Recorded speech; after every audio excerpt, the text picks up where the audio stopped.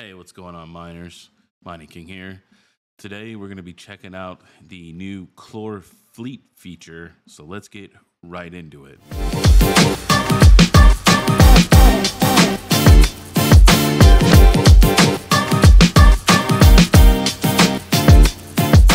we're going to be taking a look at Clore Fleet, which is one of their newest features they've added to Clore.ai, which is actually really, really cool. So they've added this feature to mass onboard rigs, and you're able to do this through um, Hive OS, which is really, really cool because we're able to, if you guys are mining, but you also maybe want to get into some AI, depending upon, you know, obviously your rig configurations, you guys may be able to also list your rigs on the platform while it's mining and do some AI as well. So, so how it works is, is you're going to set a multiplier for your mining. Like you want to make 2x, 1.5x, 4x, whatever you want to make on top of your mining profits, right? Depending upon what you're mining, because maybe you're mining, you know, negatively, right, in revenue. So maybe you want like a 4x multiplier, but you set a multiplier, and when a job comes your way, and it meets these requirements, it will then turn you off from mining and then have you do AI workloads, right? And then when the workload is over, you'll go you'll go back to mining. So it's actually really really cool. It's something that's almost like auto profit switching when it comes to doing mining and AI in the background, right? So let's go ahead and let's get into the tutorial of how to actually get this done. All right, guys, so we're over here at the Hive OS screen right now. So the first thing we're going to do is we're going to, um, is we need to be on the latest kernel, which is 6.1.0, um, and it's going to be number 90. And you can also do a, if you're on an older version, you can do a, a Hive dash replace space dash dash list and upgrade that way as well. I'll be making a Google Doc that you guys can follow along and, you know, kind of like copy and paste some of the stuff in there. But the first step we're going to do is once you're on this kernel, uh, is you're going to you're going to upgrade the Hive up to the latest thing here to make sure all of our miners and stuff like that are up to date, right, as far as possible. So we're going to run that. It's going to upgrade and then it's going to reboot. And then once it reboots, then we'll get into um, doing the NVIDIA drivers and upgrading, you know, the operating system itself. All right. So now that this thing is booted a few seconds ago, let's go ahead and let's get into our Hive shell and let's start doing some of the commands we're going to need to do in order to be able to, um, you know, start doing the Clore Fleet so once you're in the shell, the first thing that we're going to do is going to be update our NVIDIA drivers with NVIDIA driver or NVIDIA dash driver dash update dash dash list. And this is going to help break out all the different, you know, versions we can use. But on, on the bottom, you can see what version we're on is 535.171.0.4. And the stable version is 550.120, which is also the latest CUDA which is also what we're going to want to use for compute jobs, right? So all we need to do is just put in 550.120 and away she's going to go. She's going to download and she's going to start, you know, getting all the latest and greatest NVIDIA stuff. Okay, so once you're at this screen here and it has the done and driver installation is, is successful, let's go ahead, let's go over to our Hive OS and let's go ahead and, well, so let's go ahead and let's head back to, into Hive OS here and let's confirm this. So we'll hit the refresh screen and you can see here that we're on 550.120. So that means that our installation was good. So the next thing we need to do is, is we actually need to come over here so the next step is going to be coming over to Clore. Now you are going to have to make an account, and I'm not going to take you through a guide to make an account because I think everybody nowadays knows how to make accounts with setting up an email and a username and password and all that stuff. That's really basic. That's exactly what you need to do here. But once you make an account for for hosting, you're going to come over to your Marketplace, and then you're going to click My Servers, and you can see I have some stuff rented here already but we're doing a new one, right? So we need to click mass onboard. And then they have this really nice article post right here, which I'll also leave linked down in the description. And this way, it, it kind of breaks down how everything works. But I'm going to give you the breakdown too. So maybe if you don't understand how everything's stated here, that I can give you a better understanding, right? But this is some good documentation if you guys want it. So feel free to give that a read. Um, so we're going to want Hive OS, mining profitability based.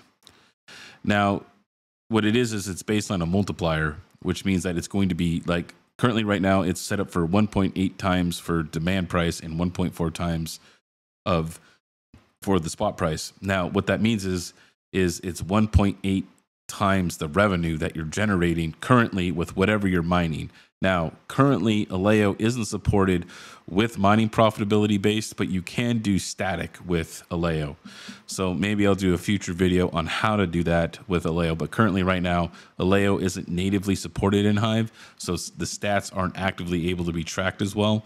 So currently, right now, you can't use Aleo for mining profitability based, but you can set things statically. And what I mean by that is, is you come over here and you hit calculate by USD, you can set like actual pricing of like, okay, I want if I want the minimum to be at least five dollars for the spot and the bid before I want my miner to come online. So you can do things like that as well, right?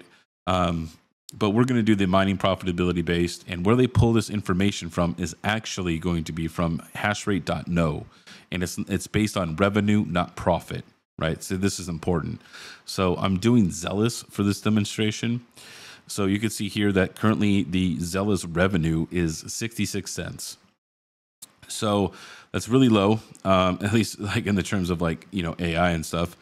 So you would be 1.8 times 66 cents would be the price of where you would set for your AI. Now you can adjust this. Like I'm going to put that I want a 4x on this, but that just means it's going to be what? It's only going to be $2.64. That's not good enough for me. So to me, I'm going to set a spot price of 8. Right? So this is going to put me around the $5.20 mark, which is pretty good for me for a 4090, right? Now, this is going to be the maximum length for the duration of the rent that the customer can do at any given time. Now, I usually find 30 days is a good spot. Now, once you kind of get the hang of this and you build certain machines and you get comfortable with your pricing, you know, I find that people more often will rent machines that have very long rental periods. And what I mean by that is, is, you know, two to three months, not just like a week or a day or whatever, right? But for this demonstration, we're going to do 30 days and we'll do 720 hours and then we're going to go over these next three options, right? So these next three options is going to be the first one's going to be the override specifics on each machine reboot or change configuration. Okay, what this means is is there's two things going on here. Number one, if you if you if you do not tick this box, if you leave it unchecked, that means that every time you want to change your multiplier, which is essentially changing your price, you're going to have to essentially make another flight sheet and authentication token. Okay. So it's going to be a, a, huge pain in the butt if you do this. You can do this. So, but to me, it's like, okay, I want to check this box. So this way I can change the, um, the multiplier on the actual Clore, uh, you know, you know, Clore AI, you know, uh, website here, right? This way I don't have to like go in and make new flight sheets every time I want to change my price, right? That's kind of a pain in the butt, but you could do either which way. It doesn't matter. So the next one is going to be the second tick is if you want to keep the overclocks for your GPU to carry over to your AI workloads. And what this is, this is going to do two things. Okay. So number one is if you check this box like this, that means that you're going to enable your your overclocks to carry over to your AI compute. The bad part is is if you've heavily uh, uh, underclocked your GPU, you're going to be what's called in a efficiency market. Essentially, it's going to be a market for miners, right? So you're not going to be getting a lot of AI workloads. So keep that in mind when you're doing these kinds of things. But there will be a separate market for efficiency, right? So it'll be miners or people looking to mine to rent from you, but you can always charge more than what the coin is currently revenuing because maybe these people don't have the infrastructure or the GPUs or the power rate or whatever. So they might be willing to pay a 25 45% premium on top of the current revenue because they just don't have the hardware, right?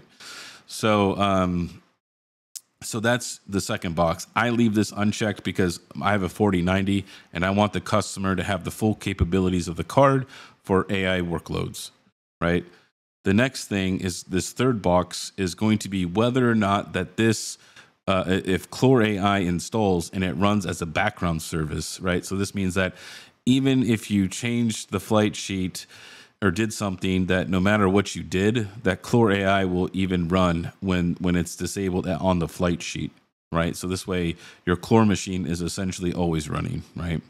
Now, this is what's going to happen though is like if if if things be you know if you have if you're using the profitability based one you, you don't really need this right here you can uh, you can go without this option, right? Because obviously you're going to be using a flight sheet because we're using mining profitability based.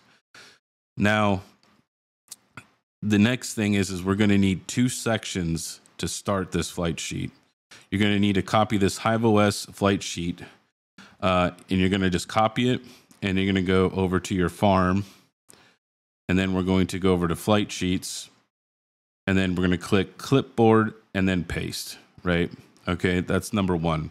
Number two is, is this there's a an authentication token here. It's very important to never share or show this authentication token whatsoever because people could get into your HiveOS farm, screw things up. They can like do all kinds of stuff to your like if you want nefarious stuff, then just give away this token to somebody. So do not share this token ever under any circumstances, okay? Nobody should ever ask for it or need it, right? So we're going to then now once you've set up the actual Clore hosting right here, okay, the next thing we're going to do is we're going to actually add our miner now. Now we're going to go to Zealous. I'm gonna use the web wallet. We'll just do hero miners. Uh, and then we're going to go to Rigel Miner. Now, the main reason that Aleo can't work is, is because you can't have the same miner twice. Aleo is a custom miner. You can't have two custom miners. But there is a way to do it, and I'll do another video sometime within the next week or so, I'll show you guys how to do it. So I'm going to paste in my overclocks for my Zealous that I want to use. Um, we'll just go like that, and then we're going to do click Create Flight Sheet all right, we're going to go back to our worker. And then we're going to make sure that we're um, we're going to do what's called MOTD watch in our shell in a box, right? This way we could see everything that's going to be going on here, right? So your screen will change to this once you hit enter. We're going to click on our, our flight sheet here. We're going to do the little rocket ship and then it's going to take off. So once it loads everything up here, we're going to start seeing it's doing all this magic here. You're going to see all these dependencies start to load. So right now it's downloading and installing the Rigel miner, and now it's downloading and installing all of the Clore repository stuff that we need to be able to uh, do all of our workloads and things like that.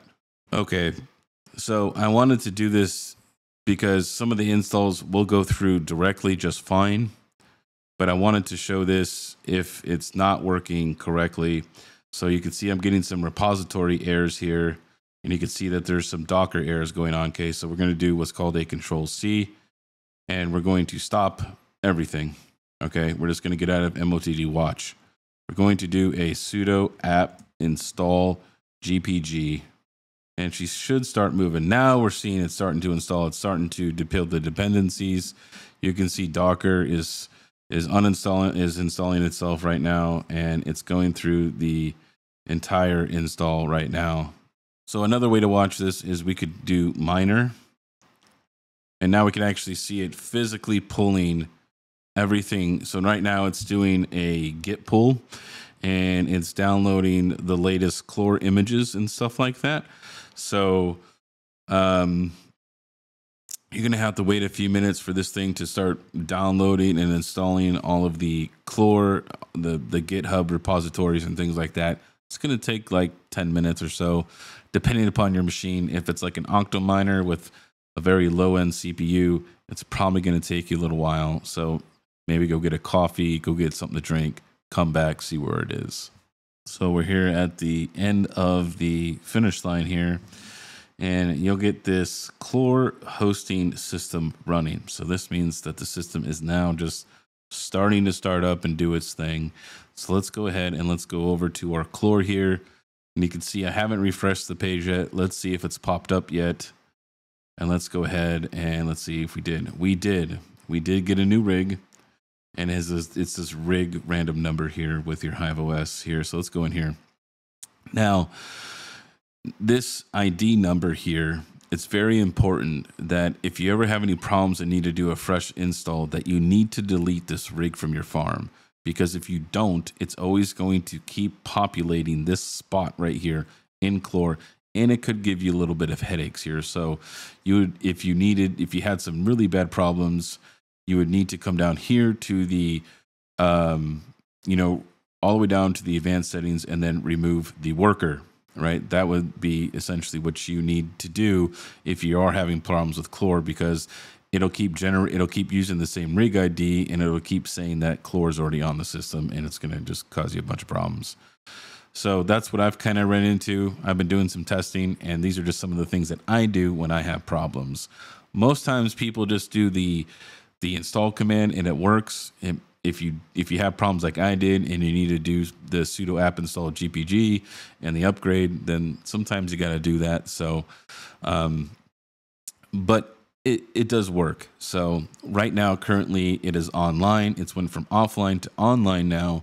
And now the system is just now starting up. So starting to do like benchmarking and getting all the stuff it needs to be able to run right now because currently right now our backend's not updated. So we need to wait patiently until it says that it's in working condition or or that it's working right? So this way that it's fully operational and then this way we can start the rental process.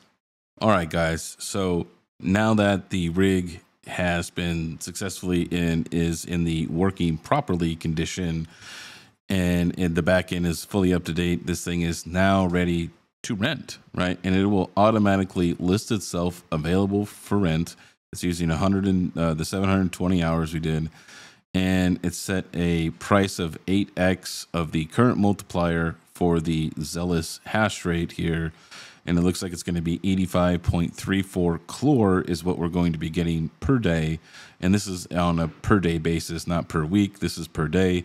And you can see that um, I didn't I didn't enable that check mark to be able to manage the rig here in the Clore dashboard, right? I just wanted to show you what it kind of looks like when it when you don't tick the first and third boxes. Just remember, I like checking the first and third boxes. I never really check the second one because unless you want to be in efficiency mode and then essentially just be renting out to other miners, that's fine. Um, they, they, do have a marketplace for that. So, but I just wanted to show what it looks like when you don't enable the first and third option, where you're going to need to be able to essentially have to come in here and, and change your flight sheet every time. When you click into your rig here it'll say machine is managed by the hive os flight sheet. Rental settings automatic pricing can be modified only by the configuration of the flight sheet. So if you get this this means you didn't do it right. You need to check the first and third options right? Then uh, I'll show you my other rig here, little Timmy here. It has a little 4060 Ti in it, and I'm going to show you this. This has the automatic pricing, but as you can see here, it doesn't have that error. So this way we're able to actually effectively change, you know, how much clore we're going to get. I want, um, let's just say I want an, uh, I want an 8x. I can just click over here, change what I want, click apply settings, and then we'll refresh the page and it should change the amount of clore. It might take a few minutes, but generally it does, it does change.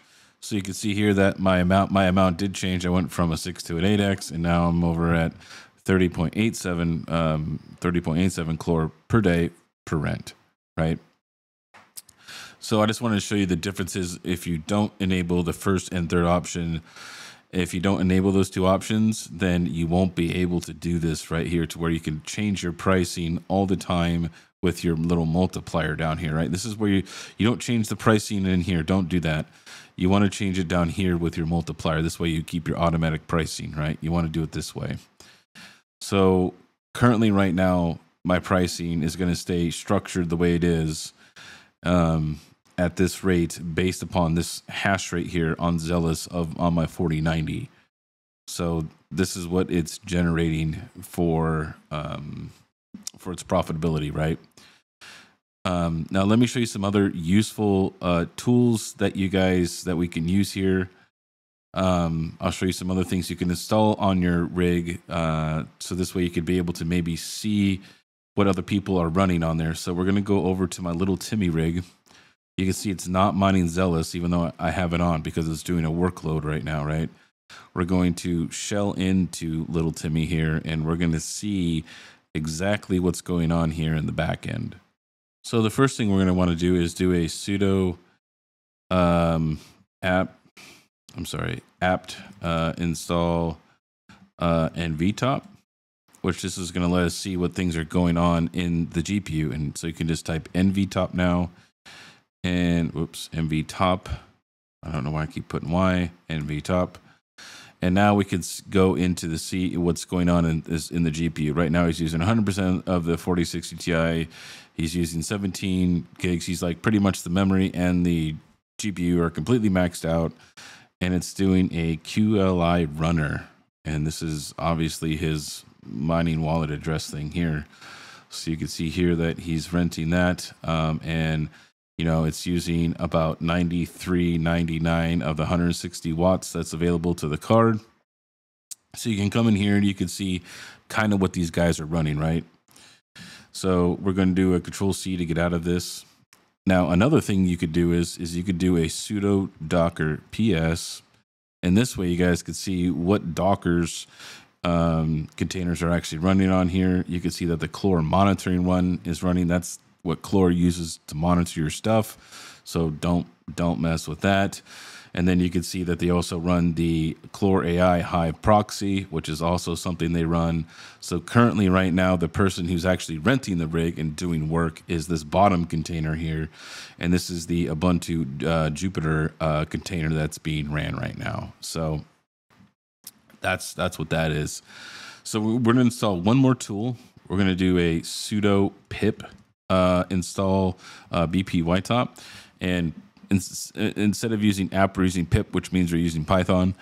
Um, and it says, "Oh, we don't we don't have pip, so we're going to do a sudo app install uh, pip." And we're going to hit yes, and it's going to do a bunch of stuff, get a bunch of things. And there it goes. Okay, now we could do a sudo pip, not pop, pip install bpytop. And there it goes. It's really small package. Now we just type bpytop. And then this is going to give us a really detailed breakout of like our CPU, our RAM, our disks, our free memory, you know, it's going to give us bandwidth. It's going to give us upload, download, what um, processes are running. You know, how the resources are being divvied up by the prices. Like it's or mine pool is what the container that he's running right now, and it, it looks like it's some kind of a CPU miner as well. It's like he's doing CPU mining as well on here. So it's using CPU and GPU. Interesting. He is pegging the crap out of my Xeon right now. So he's using all 12 cores and 24 threads on this right now. He's just he's just pegging. He's just being mean. And then we'll do a control C and that's pretty much it for the install. There is a few little catches there that you might get tripped up on. I've had the Clore installation work like probably, you know, half the amount of times really well. sometimes you might have to do a little bit of troubleshooting, but that's what I've had to do, right? So I'll leave a link to a Google Doc with some of these instructions for you guys to follow. And this way, you guys, if you guys do get tripped up, that you guys are able to essentially fix the problem that you guys are having. So hopefully this video was informative. Be sure to stay tuned because I'll be doing another video uh, within the next week or two. I'll probably do it next week, which is going to, or you know, maybe by the end of the week, is how to mine Aleo with Clore Fleet, right? Because obviously Clore is not. Uh, I'm sorry, um, Aleo is not currently supported with Clore Fleet because it's not natively supported in Hive, right? Because it needs a custom miner. You can't run two custom miners. So stay tuned for that content. All right, this is the Mining King giving you the most hashes, and I'll see you next time.